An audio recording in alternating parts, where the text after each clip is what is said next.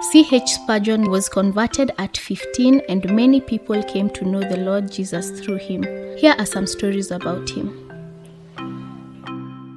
Hello, children. Welcome to another episode of Spurgeon Stories for Children by Tony Hatter. Today's story is Catching a Fly, and the Bible verse is from John chapter 10, verse 10, and it says, I have come that they may have life, and that they may have it more abundantly. Now, for some true stories about Spurgeon himself. He was born in 1834 in a village called Kelvedon in Essex. If you are ever in that area, you could find the house in the high street where he was born, and you will see a blue plaque on the wall. One day, when he was at home and he was still quite young, he happened to look at the window and he saw something on the window pane. It was a fly. He thought to himself, I'll catch it. Have you ever tried to catch a fly? If you have, you will know that it flies away very quickly. Spurgeon knew this too. So he went towards the window very carefully, very quietly. Just before he got to the window, he cupped his hands and quickly put them on the window pane and then brought his hands together. I've got it, he thought to himself.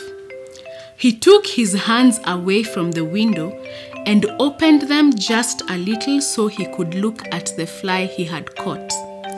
But it wasn't there. He looked back at the window, and there was the fly still on the pane.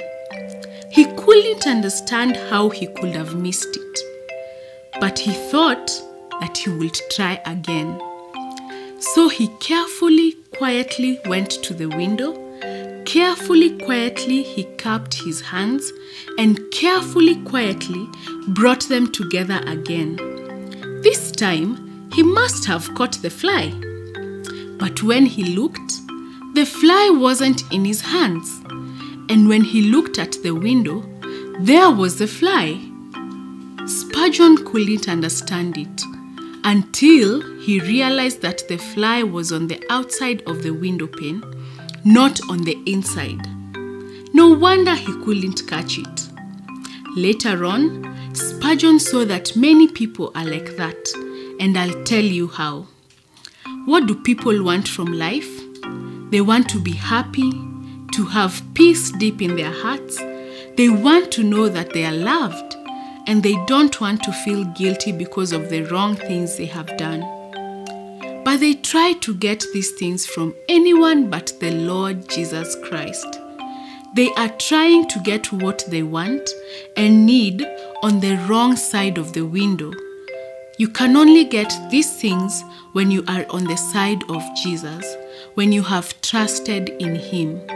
On the wrong side of the window, you won't get what you need. On the right side of the window, where the Lord Jesus is, you will get what you need in life.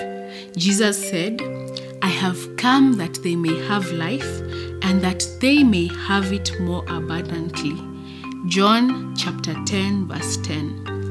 So, children, from today's story, we have learned that we only get peace, joy, and love from the Lord Jesus Christ. So look to Him to find these things. Let us pray. Our Heavenly Father, we are grateful for Jesus Christ, in whom we can find love, in whom we can find joy and peace and happiness. We pray that you will help us and you will help the children to trust Him. In Jesus' name we pray. Amen.